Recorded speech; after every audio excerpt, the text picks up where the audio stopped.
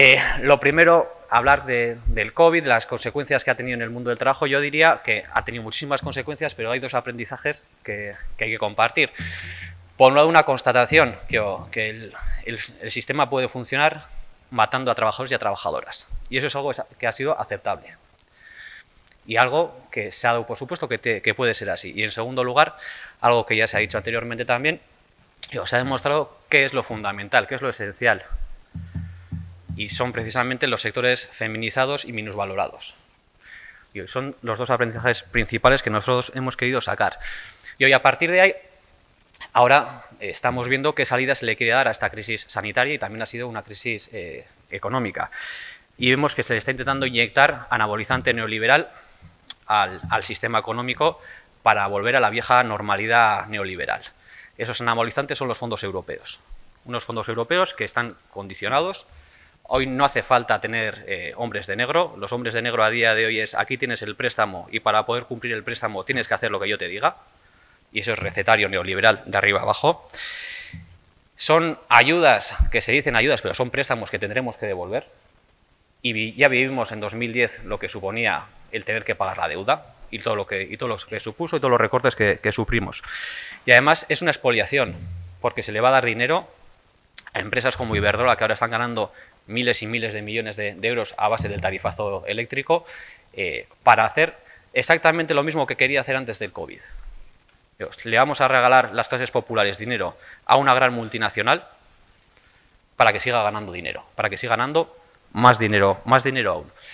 Pero dicho esto, que este es el gran peligro que, tiene la salida del COVID en Europa, diría que también es una situación de oportunidad. ¿Y oportunidad para qué?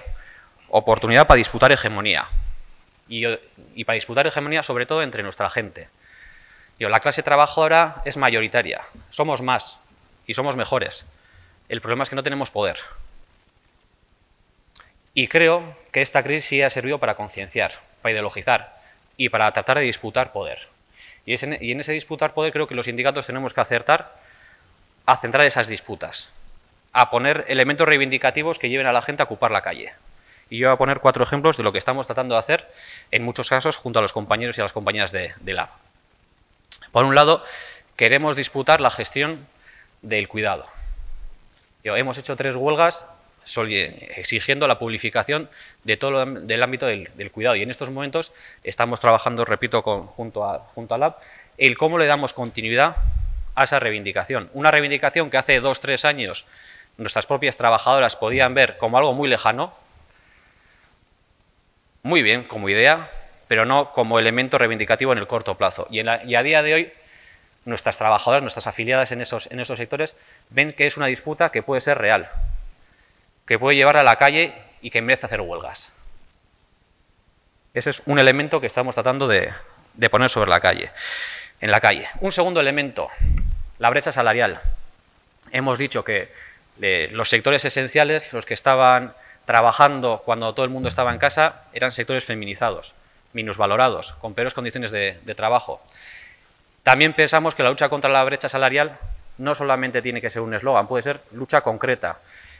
Eh, en estos momentos tenemos cuatro huelgas que están solicitando acabar con la brecha salarial en cuatro centros de, trabajo de la limpieza. Pensamos que vamos a llegar a 50 en el corto plazo.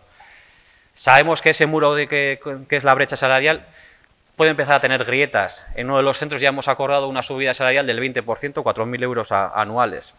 Es la primera brecha que queremos, la, primera grieta que, vamos a abrir. Y hoy, por ejemplo, las trabajadoras de la limpieza del Guggenheim llevan más de 100 días de huelga exigiendo acabar con la brecha salarial dentro de, ese, gran, museo, que, es, que es grande, pero que sobrevive gracias a, la miseria que tienen que subir las mujeres que, limpian el, que tienen que limpiar el museo. Un tercer elemento, queremos que en nuestro país no se pueda despedir fácil. Que ante medidas coyunturales la salida no pueda ser la fácil, la, del despido. Eh, la semana pasada tuvimos una enorme victoria contra una multinacional como Tubacés tras, 233 días de huelga. Eh, conseguimos parar el despido de 129 personas, no haber ningún despido. Algo parecido conseguimos en H&M Incluso cuando Comisiones Obreras y UGT ya tenían acordados los despidos, nuestras trabajadoras siguieron en huelga y consiguieron que no hubiese ningún despido en Euskal Herria. Nosotros queremos poner sobre la mesa que el despedir incluso una reforma laboral horrible en nuestro país no sea posible. O por lo menos que no sea fácil. Y para nosotros es una satisfacción que esta semana una empresa nos haya dicho no queremos un tubacex en nuestra empresa. Esos 233 días de huelga, además de ser una victoria en esa empresa, para nosotros también ha sido un referente para el conjunto de empresas y de empresarios que saben que si toman algunas medidas van a tener también consecuencias. Y por último, también queremos luchar la digitalización. Aquí tenéis una gran empresa como Inditex que ha apostado por la digitalización de forma salvaje. Y nosotros queremos que si el comercio se va a digitalizar, se haga de otra manera. Y se haga, para empezar, con reducciones de jornada radicales. Y eso también, que en otros momentos podía ser una disputa de, ideas, lo queremos, lo queremos convertir en disputa real. Y estamos, eh, y estamos exigiendo reducciones de jornada decía, radicales, vamos a, vamos a por las 2.200 horas anuales en el, sector, en el sector del comercio. Y queremos que sea una lucha real, no solamente una lucha de, ideas. Lo ponía como, como ejemplos, vamos a tener nuevos retos. Antes Paco hablaba del teletrabajo. Es un reto enorme. ¿Cómo organizar a gente que no está compartiendo un espacio? No nos gusta el teletrabajo, pero ha venido. Tendremos que aprender a cómo hacer frente al mundo, a, ese, a ese mundo del trabajo. Podemos encontrarnos con una crisis de oferta y el problema de los semiconductores ya, ya lo tenemos sobre, sobre la mesa. En, eh, el sector de la automoción en nuestro país en estos momentos está inerte. ¿Qué va a pasar si esto que está pasando con los semiconductores, el planeta tiene unos límites?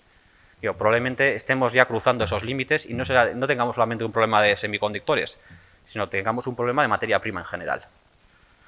Y el sindicalismo tendrá que aprender a hacerle frente a eso y no solamente a gestionar las consecuencias concretas de esos problemas en los centros de trabajo en forma de despidos. Y creo que eso va a exigir un sindicalismo más, más movilizado, un sindicalismo más político, un sindicalismo que vaya a disputar el cómo se tiene que hacer la transición, porque transición va a haber. Y la cuestión es si esa transición se va a hacer a favor o en contra de los intereses de, la clase trabajadora. Y por último, eh, creo que todo esto necesita de energía. Y el soberanismo, el independentismo, me parece que es energía militante que ayuda a hacer esos procesos. Las luchas, el capitalismo no se va a acabar, no se va a acabar en todo el mundo a la vez. Se disputa, se disputa en el territorio, en cada uno de los territorios. Y el, y el, soberanismo no solamente es acabar con la opresión española, que lo es. Soberanismo también es respecto a multinacionales, respecto al capital. La lucha de sindicatos como, como los nuestros, sindicatos soberanistas, sindicatos que apuestan por poder decidir aquí, es una lucha democrática y es una lucha que de forma solidaria vamos a, vamos a ganar. Es que ricasco.